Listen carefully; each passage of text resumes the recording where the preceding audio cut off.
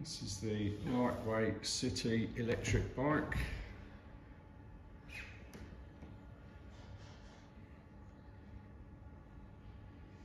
Very classic, simple design, retro looking, fixie style. Air batteries are inside the tube, got your on off button there. It's got the uh, strong wheels, uh, comes with a standard with the city tyres. Uh, it's a fast tyre. Uh, controller, oh, got to turn it on first.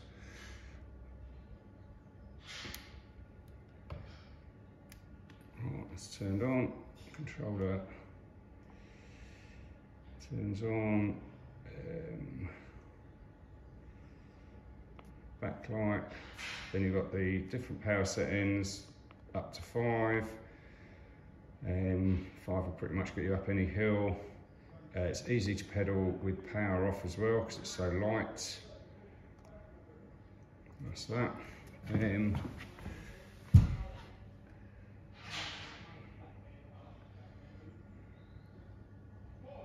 centre stands optional extra we can fit for you. Then it's got the motor in the rear hub.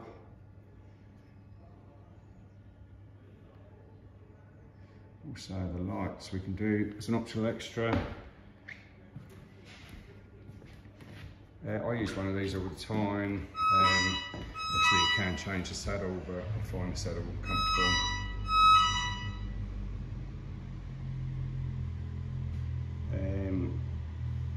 That's the controller in the crank set there, so as soon as you start pedaling, if it's on, um, the power kicks in, it doesn't shoot you forwards, it's a quite a gentle uh, application of power, so you never feel out of control. There's the charging port, comes with a charger of course, takes about three to four hours to charge up fully. Um, I can ride around all day on mine, uh, up and down the hills of Brighton. And uh, power really lasts that long. So depends how much pedaling you do, how heavy you are, how many hills you're going up and down, but with power on all the time um, and doing a little bit of pedaling, which you do naturally, probably get sort of 50 kilometres, something like that out of it, but you can get an awful lot more if you're doing a bit more pedaling. So it's lightweight,